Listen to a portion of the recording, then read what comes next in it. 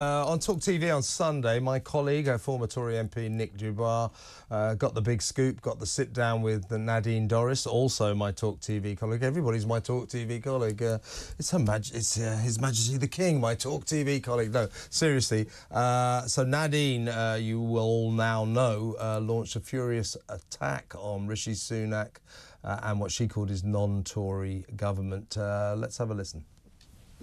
It's not even angry. You know, this is the thing, again, the misogyny. If a man had written that letter, they wouldn't be calling it angry. It's because it's a woman who's written that letter.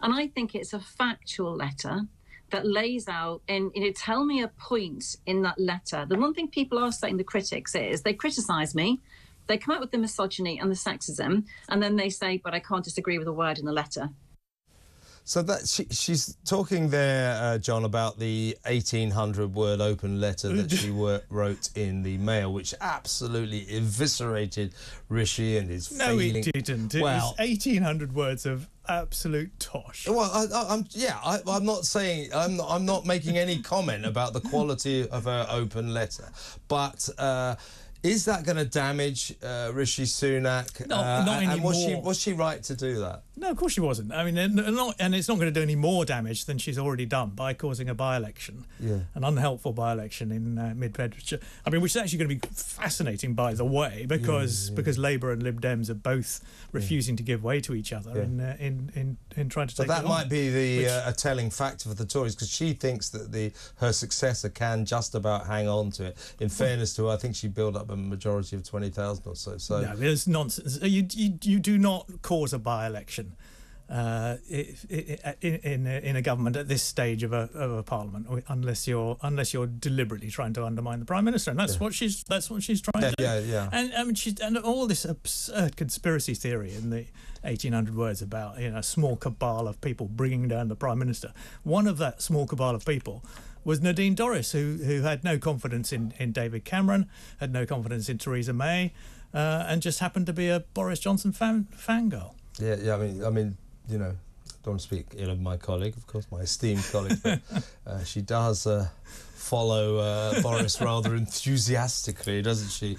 Uh, let's move on. Uh, let's talk about the uh, famous Bibby Stockholm barge, currently, I think, a symbol of the migrant crisis, a sort of rotting, empty hulk down in down in uh, Portland in Dorset. Uh, now, Suella Braverman, the Home Secretary, says it's ready to roll again. They've got rid of the Legionnaires' disease, new water systems, everything is ready, yeah. so the migrants can come back on board. The Fire Brigade Union say, "Oh, you can't do that because we've decided it's a fire risk," uh, and they've written some sort of preliminary action letter. Uh, I'm not sure what that means, but I'm I assume it's threatening potential industrial action.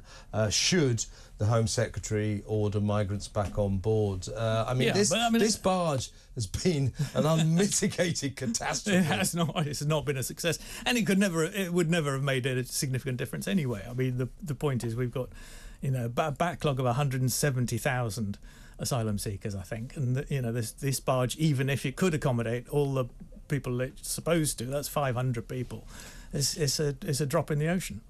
Um, let's talk uh, more. Uh, well, actually, stick with this for just a second because I want to basically talk about the uh, upcoming election. Um, Labour got a seven, about an average of a 17 point lead now, which I would suggest isn't entirely unassailable should they put a lot of feet wrong. Uh, ULEZ might be the biggest foot they put wrong. Um, but uh, the, the migrant crisis you know, in a way, it's sort of, it seems to me, is kind of the equivalent of Labour's ULEZ problem. uh, you know, it could sink uh, Rishi because he's getting nowhere with it. He keeps making these pledges. Absolutely. And, and, at the weekend, you know, the latest of these empty statements. Oh, we, we might electronically tag them. I bet they don't. Yeah. Uh, and what good would it do anyway? Exactly. Um, exactly. Yeah. And and uh, all, all, I mean, three of his five pledges that he announced with great fanfare at the beginning of the year so that people could judge him by the end of the year, and he could say, "Oh, look, I'm achieving, I'm achieving stuff for you. Right, I'm ready, for, ready to fight an election." Three of them have gone, uh, have gone AWOL. Yeah, yeah, the, yeah. To stop the boats, that was never going to happen. Um, halving inflation's a bit touch and go. The NHS waiting lists are uh, are- are not there. Getting the debt down is not there. Yeah. It's um, it's it's not looking good for him. You're absolutely right. Um, so, uh, Labour, uh, you know, who are wont to pluck defeat from the jaws of victory, uh, that's their stock in trade. Be quite an achievement to do that this time. Uh, but uh, Starmer is um, sort of a long way ahead. You, I mean, he can hang on to that lead, Well, ULEZ notwithstanding. Well, I think he has shown a certain amount of ruthlessness in um, in making sure that there's nothing that, that stands between him and uh, him and, and, and the voters. Um, eh, you know, some some of his party are beginning to get a bit restless, but I mean, on the on the other hand, they've been out of power for a long time. They want to win, uh, and they're prepared to put up with pretty much anything.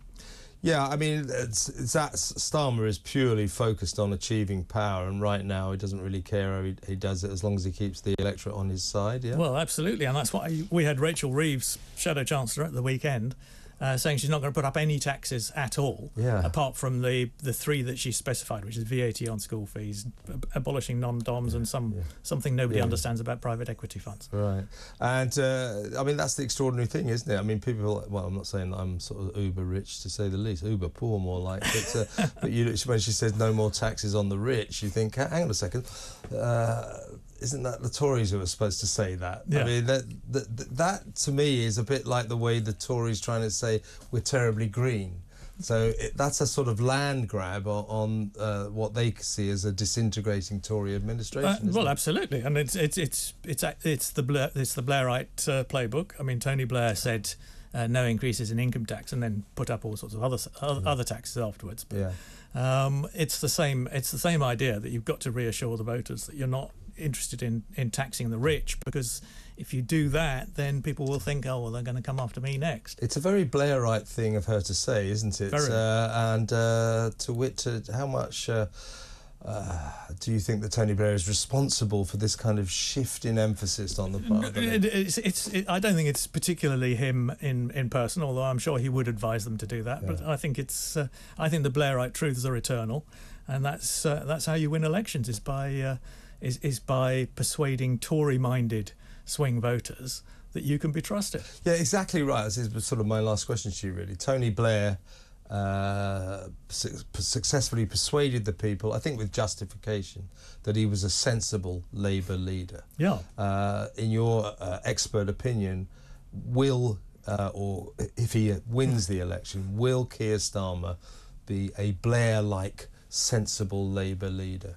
Well, that is the, the the huge question because I don't think Keir Starmer is like Tony Blair. I don't think Keir Starmer has Tony Blair's um, centrist instincts, So I think uh, I think there's a big question mark about what he would do uh, once he got into power. Yeah. Uh, but on the other hand, you know, once you're in power, you want to stay in power, so you want to win the, the next election, and the the best way to do that is the Blairite way of continuing to reassure the voters you won over. Absolutely. Let's uh, finish on an entertaining irre- or virtual irrelevance, but it will be a great story. Uh, will uh, Jeremy Corbyn stand as an independent in North Lis- Islington? That's a, that's another very good question. I suspect um, I suspect not in the end. Um, For fear of losing? for fear of losing, absolutely. Because I I'm told by people who, might, you know, funnily enough, I have lots of friends in Islington who used to, li- used to live there. you're a sort of North, I was- I London, was North London liberal. Yeah, I was thrown out, thrown out as a as a, a, a, a spy and a traitor. Um, yeah, I'm secret. Yeah, now now in Hampstead, you know, it's, it's a tough life. Uh, but seriously, um, uh, I'm told by them that if he stood as a, an independent, he would win. But I'm, I doubt. I'm not sure that's true. I mean, I think yeah, he would get thousands and thousands of votes. He would be a very, a very unusual candidate. There'd be Yeah. a national focus Yeah, uh, on that on the election in that constituency. yeah, Um, but even so, you know, the party system is incredibly strong. yeah. Uh, and provided Labour choose a, Yeah. a decent candidate, and that means someone who Yeah. looks competent and, and, and moderate and, and sensible and, and humble, uh, then I think he can be beaten. So Corbyn will bow out bravely, saying it's time, you know, time to move Well, he is on. quite but, old. but he's but he's probably more worried that he could lose. Yeah, well, he's, he's late. What is he? Late seventies. Yeah, I mean, he is- you know, he it's is it's, old, it's yeah. time. It's time for him to call it a day. I Yeah, well, well, I've been saying that for about a decade. Uh, but there you are. Hey, John, th- thanks so much for coming in. That was fantastic. My John. Rentoul, chief political commentator of The Independent there. And uh, next up,